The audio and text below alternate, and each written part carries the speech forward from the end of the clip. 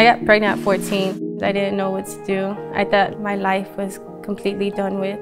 I finally did have the motivation to get up and come to Learn4Life because my little sister was already here.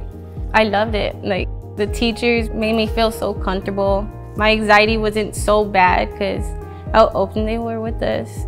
If I needed help, they were right there for me. And if they couldn't get to me, then they always had someone there for me, like always. I'm able to work and go to school. I'm able to be a mom and still go to school. In my other schools, I wouldn't be able to do that. I will miss a lot of time from my son and, and Learn4Life. You can still have that time and be successful. I think I'm gonna cry on graduation because I've been waiting for this for like a long time and it's finally coming. I'm kind of like the first one to graduate. So it's like very proud. I'm very proud of myself. I could say I was a young mom and still graduated and successful.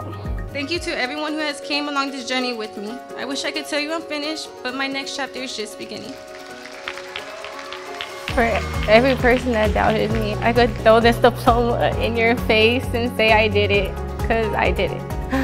I could say thanks for doubting me because you motivated me the most. Learn4Life changed my story.